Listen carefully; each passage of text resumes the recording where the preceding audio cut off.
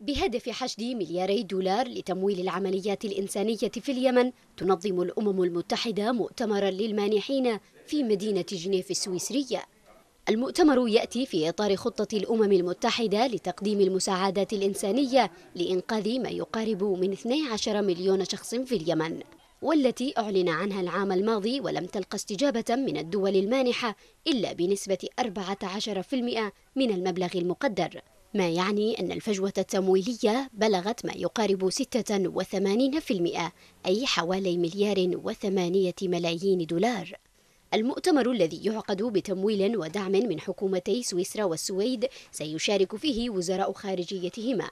والأمين العام للأمم المتحدة ووكيل الأمين العام للأمم المتحدة للشؤون الإنسانية كما سيشارك فيه رئيس الحكومة اليمنية أحمد بن دغر ومسؤولون حكوميون.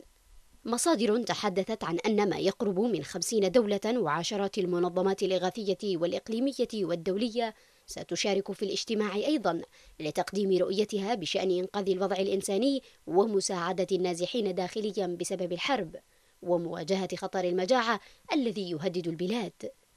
دولة الكويت وعبر مندوبها الدائم لدى الأمم المتحدة والمنظمات الدولية في جنيف كان أول من أكد مشاركة بلاده في أعمال المؤتمر بوفد رفيع المستوى بهدف رفع مستوى دعم التوجهات الأممية المخصصة في اليمن.